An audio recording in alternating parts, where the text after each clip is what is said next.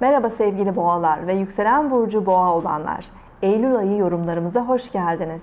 Sevgili boğalar, bu ay sizin için özellikle aşk, eğlence ve yaşamın zevkli yanlarının biraz daha ön plana çıktığı bir ay olabilir. E, çocuklarla da ilgili yine keyifli gelişmeler yaşayabilirsiniz. Güneş Başak Burcu'nda ilerliyor, sizi destekleyen bir pozisyonda. 23 Eylül'e kadar Başak Burcu'nda kalacak. Sizin gezegeniniz Venüs 5 Eylül'de Başak Burcu'na geçiyor. E, aşk hayatınızda güzel gelişmeler yaşayabilirsiniz. Yeni fırsatlar karşınıza çıkabilir. Hamilelik, doğum ve çocuklarla ilgili konular keyif verebilir.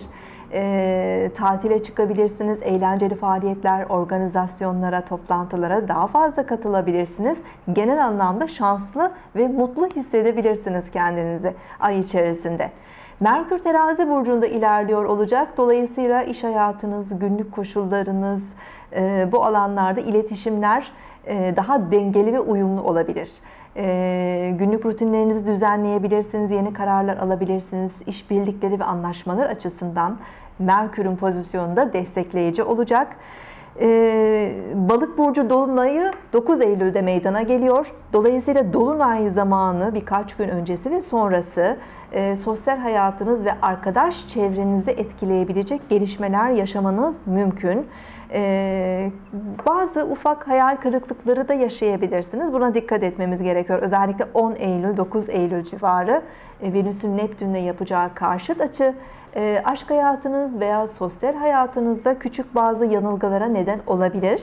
E, bunun yanı sıra sanatsal konularla uğraşıyorsanız özellikle yaratıcılığınız da çok üst boyutta olacaktır. Çok önemli e, eserler ortaya çıkarabilir, yeteneklerinizi de gösterebilirsiniz. 14 Eylül'den itibaren Mars Yay burcuna geçiyor.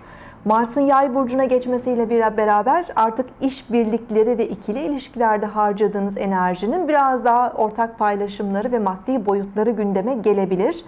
Ancak burada Mars zaman zaman e, birazcık e, özellikle küçük kazalar ve sakarlıklara karşı dikkat etmenizi gerektirecek.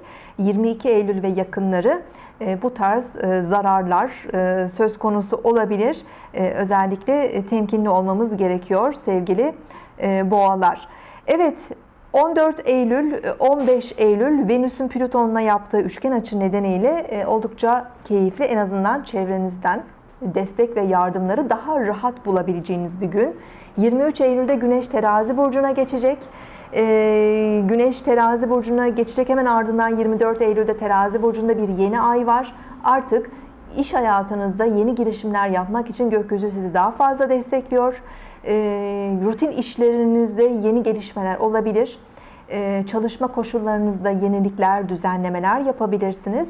Ee, gökyüzü genel olarak ayın son haftası daha rahat görünüyor. Jüpiter'in Uranüs'te yapacağı üçgen açı bazı sürpriz fırsatları da karşınıza çıkarabilir sevgili e, boğalar. Evet ay sonunda Merkür Akrep Burcu'na geçecek 28 Eylül'de.